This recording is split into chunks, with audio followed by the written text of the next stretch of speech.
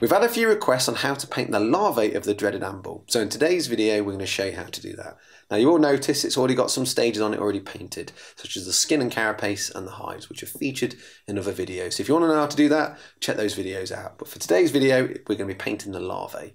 Now to start with, we'll be base coating the skin of the larvae using Rakarth Flesh. We're going to paint the face using Eshin Grey.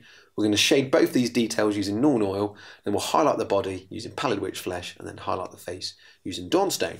So first of all, let's start base coating that maggoty body. So first of all, I'm going to apply a little bit of Rakarth Flesh to my palette, add a little bit of water to it so it's nice and I've got a bit better flow to it. Uh, as you can see, I'm just twisting my brush as well to get a nice point. And then what we're going to do is we'll just start base coating those larvae. So there's quite a few on the body, so just study it before you start getting a bit too carried away. But what you can see I'm doing here is I'm just painting the actual larvae to completion, or completely base coating it, should I say. With the bodies now base coated, we're going to move on to painting the faces, and for this we're using Eshin Grey.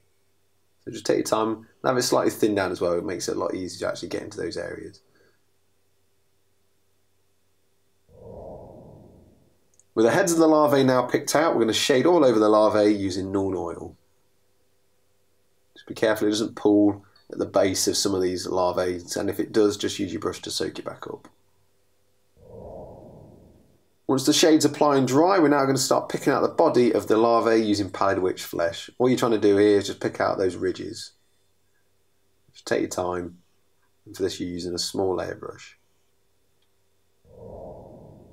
With the bodies now highlighted using Dawnstone we're going to start highlighting the heads.